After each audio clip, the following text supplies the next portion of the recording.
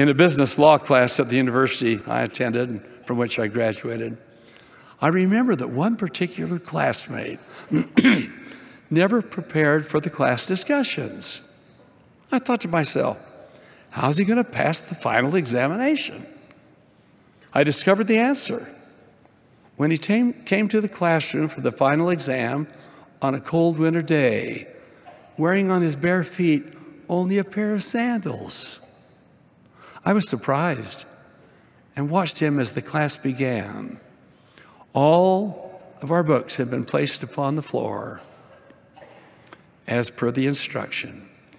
He slipped the sandals from his feet, and then with toes that he had trained and had prepared with glycerin, he skillfully turned the pages of one of the books which he'd placed on the floor, thereby viewing the answers to the examination questions. He received one of the highest grades in that course on business law. But the day of reckoning came. Later, as he prepared to take his comprehensive exam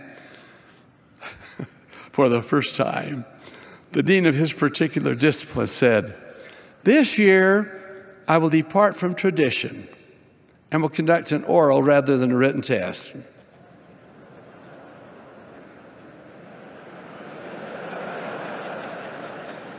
Our favorite train toe expert found that he had his foot in his mouth on that occasion and failed the exam.